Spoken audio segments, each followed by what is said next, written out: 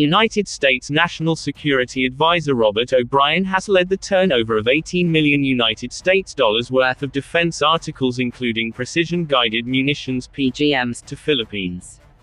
The defense articles were received by Foreign Affairs Secretary Teddy Locsin during a ceremony attended by National Defense Undersecretary Cardozo Luna and other defense and military officials today, November 23.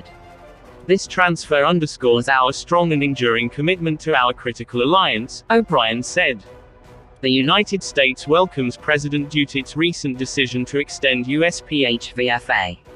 We look forward to the VFA continuing to facilitate our closer cooperation in combating terrorism, he noted. Secretary Locsin said this is the fulfillment of a promise made by US President Donald Trump to President Duterte during their phone call in April, we look forward to training on the use of these weapons with the best and undisputed military power in the world. The only one in history selflessly dedicated to the freedom and independence of other countries wherever threatened in the world, Locsin added.